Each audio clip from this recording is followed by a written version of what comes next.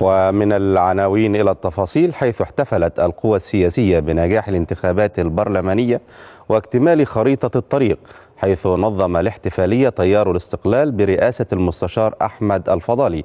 من جانب قال الدكتور السيد البدوي رئيس حزب الوفد إن الشعب صبر لعقود طويلة على الظلم والفقر والفساد لكن عبقرية المصريين أطاحت بالإخوان في 12 شهرا وتمكن من اكتثاث جذور الجماعة الإرهابية في مصر.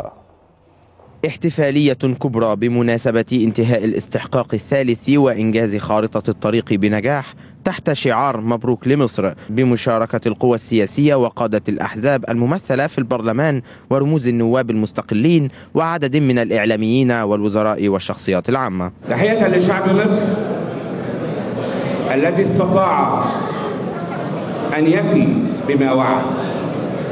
استطاع أن ينجز الخطوات الثلاث من خارطة الطريق. نجح في كل خطوة من الخطوات الثلاث.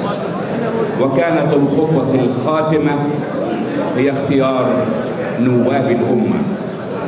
فكانت انتخابات يشهد لها الجميع. لم تشهد عنفا أو دماء أو أمورا كنا نشهدها في في كل الانتخابات الماضية.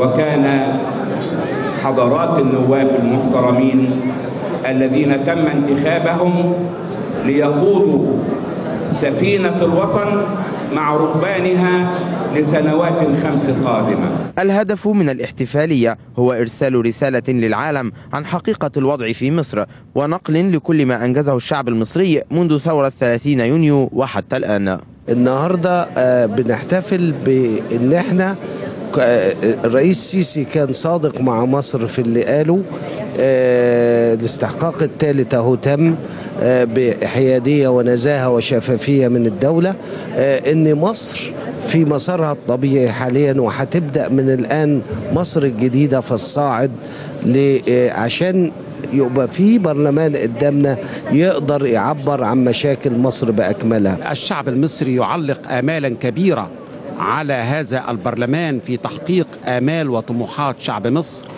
التي عبر عنها عبر ثورتيه 25 يناير و30 يونيو هناك دستور جديد كما رأينا لكن هناك تشريعات كثيرة ينبغي إجراء تعديلات عاجلة فيها لكي تتواكب مع أحكام هذا الدستور الجديد. كما شهدت الاحتفالية تكريم للأحزاب التي شاركت في الاستحقاق الثالث والممثلة في البرلمان وشمل التكريم أيضا رؤساء وممثلي مؤسسات الدولة التي أشرفت على العملية الانتخابية.